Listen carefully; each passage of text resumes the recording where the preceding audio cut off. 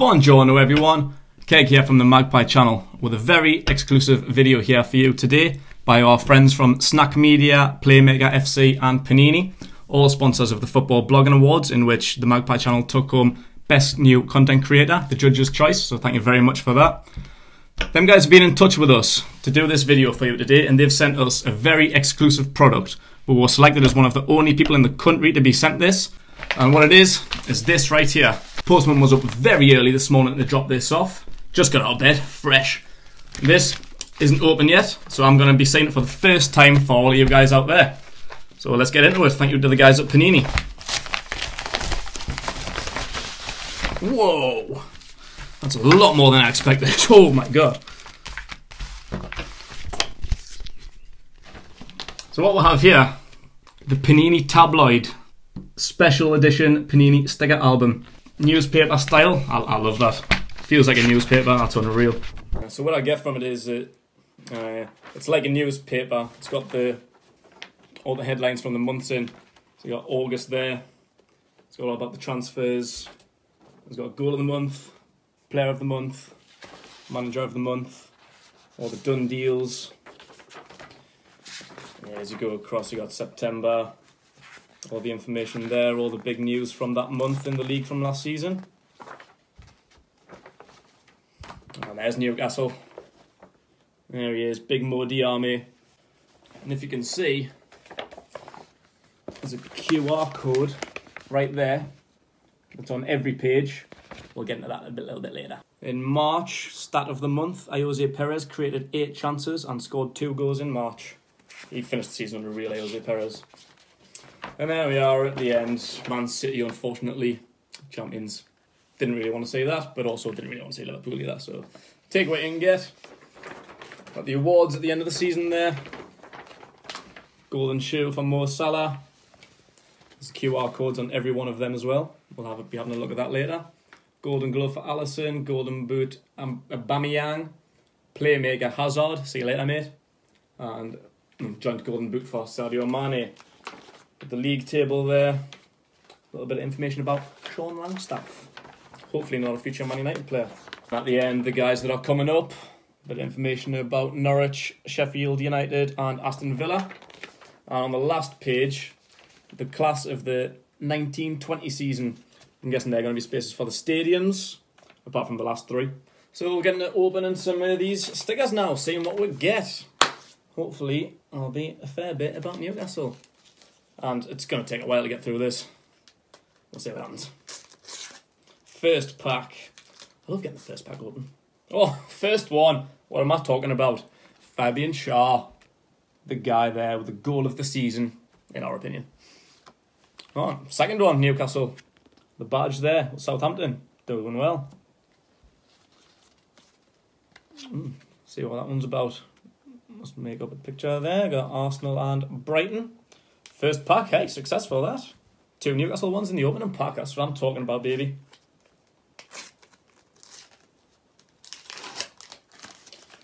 Got a copy already. Anyone want swapsies? Love good swapsies. What else we got? Oh, it's a shiny Sean Longstaff. What about that? Hello. you got someone buying that now? That's another picture. There's uh, Schär taking on Sergio Aguero. We all know who the real winner is there, but the one I dropped, Sean Longstaff, the local hero. And also the shiny Sadio Mane, EA Sports Player of the Month. We got one half of Miguel Almiron on there. Just the legs. That's all you need, really, because he's a short. He's not really going to be getting many headers in. Oh, there's the top off. Oh, made a full picture in one deck. Where's he gone? There we are, the little beauty, Miguel Almiron. There's another rundown one, top corner there. Origi. And the Man City captain there, Vincent Kompany, one of the goals of the season to help win the league, and that's what he won in return. Nice little shiny there. So these little ones here, they're divided into three different ones. They peel off as little circles. You got there five A, B, and C. Oh, down there. And they go into there. That's 5A and 5B. That's what they are there. We've got. We'll get that straight in. Yeah, what's that? 5A, that's Pogba, five shots on target in August. Oh, they're hard, them. I've never put them down before. They're tiny. There we are.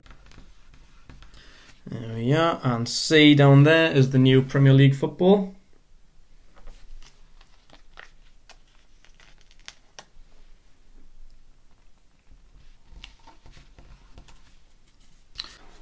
What else we got in here? We've got number nine, new deal, Kepa Arrizabalaga, the Chelsea manager. Put Sarri down, who is of course now looking like he's off to Juventus. Obviously, they don't need him because they got this guy. What was he? 71 million. Wow, that's a lot of money for a goalkeeper that thinks he's the boss. And we've got another Kepa there. You don't need two of him. This is a cool one in the corner there. It's Danny Ings from Southampton's 2 0 win over Crystal Palace in September. See that hole there? Oh, that's a sticker. I've never put anything down like that before. That's going to be tricky, I reckon. We'll give it a go. There it is, that's a sticker there. Gonna get it down right. Oh, it's not bad, it's not perfect.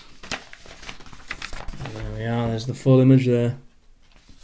Is that in? It's near enough. Oh, there he is, the main man. We've got Rafa Benitez. Please stay, Rafa. What I want you to stay. I'm going to get him in right now. Number 48. There he is, manager of the month. That's what I'm talking about. When was this? November. What a cracking year in November. Rondon won 22 aerial duels in 251 minutes played. Where are? Rafa Benitez third win. He won his first one back in 2013. Yeah, Rafa was obviously crucial to our season. Like, who knows where we'd be without him. It all started in November. We didn't even have a win until November. We didn't pick up three points until November. There was only three games in that month in which we won all three of them. So obviously Rafa had a 100% record, deserved to be manager of the month. And that really was what kicked off our season with the budget we had. Literally, I'd, it's scary to think where Newcastle could have been without them. Almost definitely relegation. We battled it for most of the season because of the disappointing start. But yeah, November totally kicked on. And uh, yeah, we finished quite strongly and uh, got to where we needed to be. I've got the Mo Army cover talking about the the three wins. It was Watford at home with a 1 0 win. Then we went on to beat Bournemouth at home also for Rondon's first two goals of the season. And we got a good away win, first away win of the season, away to Burnley. We've got the Rondon sticker there actually. We'll uh, stick that one in if you can. There he is, the main man. His goals were crucial to our season as well. He finally got off the mark in November. And while we're on it, while we're on Newcastle, well, we've got the QR code there. We'll see what this is about. Where's my phone? So you just get your camera up, any camera, hold it. I'll pick up on there, and as you can see, there's a link popped up in the corner. So you just tap on that, and it takes you straight to the Panini website. There's a little video there, you press play. And that shows you Ciaran Clark's goal there, oh, away to Burnley. Ritchie. And it's uh, another one. It's guided in superbly by One of them on every page for every month, showing you different highlights. Great little feature there by Panini. I love that. We'll keep up with putting the Newcastle ones in. There they are. Got one here. Schär. Fabian Schär. Goal of the month. and thoroughly deserved so. Where are we? 80. We interviewed a lot of people after the last game of the season on the Magpie channel, a lot of the fans, and most agreed that Fabian Schär was our player of the season, let alone this goal being the goal of the season.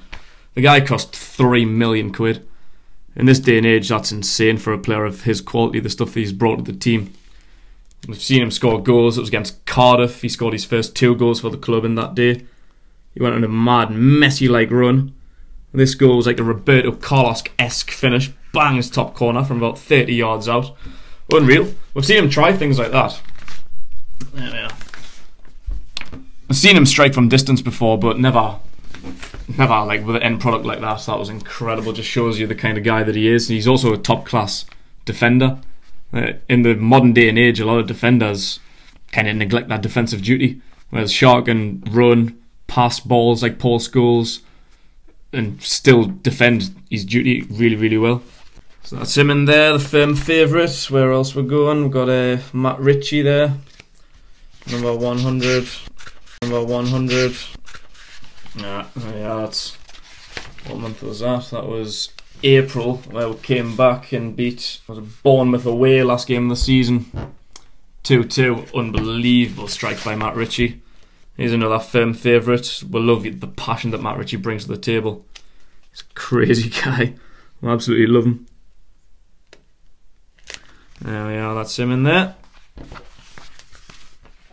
And uh, where else? We've got the local hero, Sean Longstaff.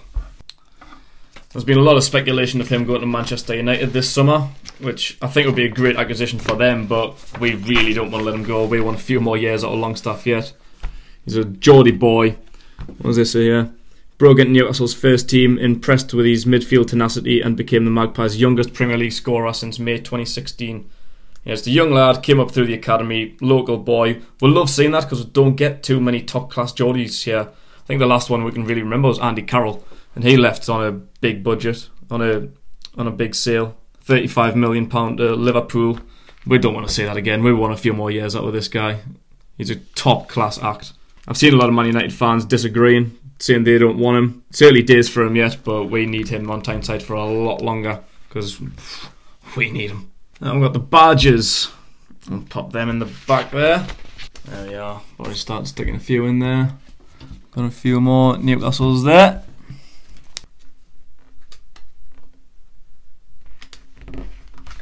There we are. And for one of the signings of our season, another guy that really helped change us and push what on stronger was this guy. Miguel Almiron big January signing. I think definitely changed the fortunes for the rest of the season. 20 million. Broke 10 year long transfer record after Michael Owen for 16 million. Took us that long to spend more than 16 million, man. What's going on? Once he came, just totally changed the way we played. Like his pace is frightening. When we get a full season out of him, once pre season comes and the season starts, teams in the Premier League better watch out because he's he's dangerous. We're seeing a lot of people criticising him because he still didn't score a goal or get an assist, but it's the work he does. He, and he's created more chances than anyone else in the Premier League from when he first came.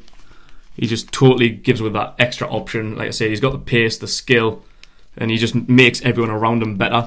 Ayoze Perez's goal record started to improve once we had him in. Rondon was playing better.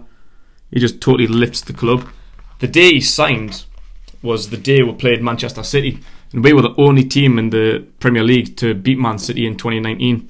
And I think that was all down to his influence. We just went on a mad run, beat Man City. Like the whole club, you could feel it in the stadium. I think even the players knew something special was about to happen here. Because there was going to be protests and all sorts that day. Then, as soon as word came out about this guy coming, just lifted everyone's spirits, and I, I think that was what helped beat Man City. As crazy as it sounds, I think we were a 12th man, and the players felt it and just went out and and beat the champions. It was an incredible day. That one of the best games of the season, one of the most enjoyable anyway. The atmosphere, like all because of this man. He hadn't even played a game yet. He literally just signed about two hours before kickoff, but it just boosted the whole place. And his influence was felt throughout the season, like the way he plays it was just second to none. We've needed a guy like this for years, finally broke the bank. Even 20 million, it's not even that much money in this market, but it's what we needed, and we're pushed on, and he did really, really well. And also we got we've got got my good friend Declan Rice there. I'll pop him in. He he scored his first goal against Arsenal in this month in January, so we'll give our friend Declan Rice a little pop in there. And that about wraps it up. All done there. So once again, thank you very much to Panini and the guys at Playmaker. This has been fun. I've enjoyed doing this, and uh, hopefully we'll get to do it again. Thank you very much, guys. We'll see you soon. Enjoy yourself.